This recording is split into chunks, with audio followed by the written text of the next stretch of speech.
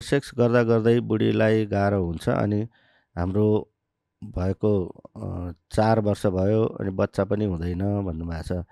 उहाँले यौन सम्पर्क गर्दा गर्दै श्रीमतीलाई दुख्ने अथवा कुनै पनि डिस्कम्फर्ट हुने कुरा गर्नुभएको छ र बच्चा पनि भएन भन्ने कुरा गर्नुभयो।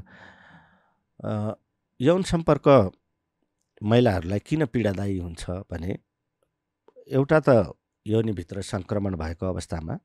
सङ्क्रमण हुँदाखेरि यौनाङ्गभित्र घाउ भएको हुन्छ र त्यही घाउमा घर्षण हुँदाखेरि दुख्ने पोल्ने समस्या आउने गर्छ। यौन सम्पर्क सामान्य रूपमा आनन्ददायी हुनुपर्छ तर पीडादायी भयो भने स्वाभाविक रूपमा त्यसतिर रुचि आउँदैन वितृष्णा बढ्न जान्छ र यौन सम्पर्कबाट टाढा रहन मन लाग्छ।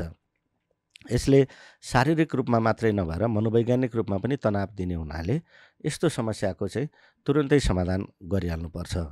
र अर्को कुरा यौन सम्पर्कमा महिलालाई अप्ठ्यारो हुने अर्को कारण भनेको लिब्रिकेसन भएन भने जुन चिप्लोपना महिलाहरूको योनिबाट यौन सम्पर्कको समयमा एक खालको चिप्लो तरल पदार्थ निस्किने गर्छ। त्यसको उत्पादन भएको छैन त्यो निस्किन सकेको छैन भने पनि पीडादायी हुने गर्छ।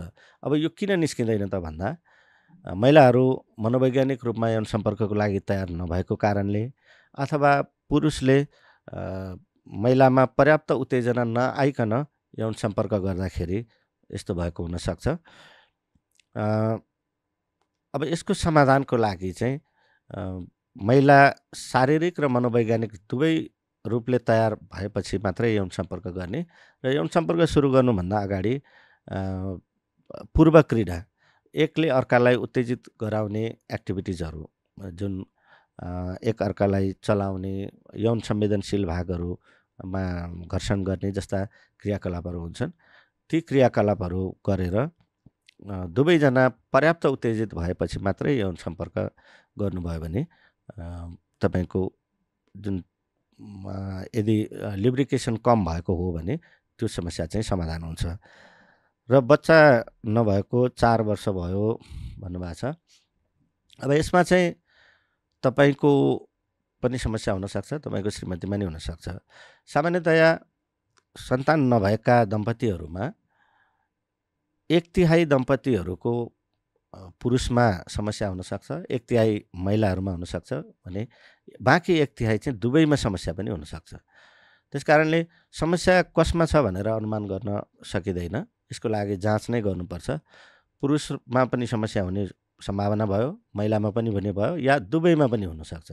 त्यस कारणले यसमा चाहिँ अब विस्तृत रूपमा जाँच गर्नुपर्ने हुन्छ।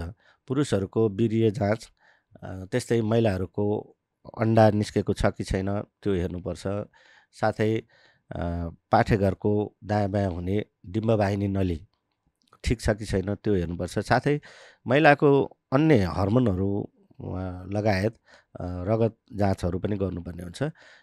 यसरी विस्तृत रूपमा जाँच गरिसकेपछि मात्रै पत्ता लाग्छ के कारणले भएको हो भनेर के कारणले चाहिँ बच्चा भएन भनेर।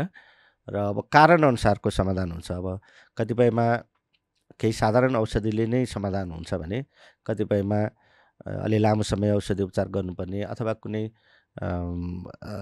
मेडिकल प्रोसिड्युरहरू गर्नुपर्ने अवस्था हुनसक्छ भने कोही कोहीमा अत्याधुनिक तरिका जस्तो टेस्टी बेबी जसलाई आइबिएफ पनि भनिन्छ त्यो पनि अप्नाउनु पर्ने हुनसक्छ कार्यक्रम यौनका कुरा आजलाई यति नै। तपाईँहरू यो कार्यक्रम हरेक शुक्रबार राति आठ तिसदेखि नौ बजीसम्म हरेक हप्ता हेर्न नभुल्नुहोला।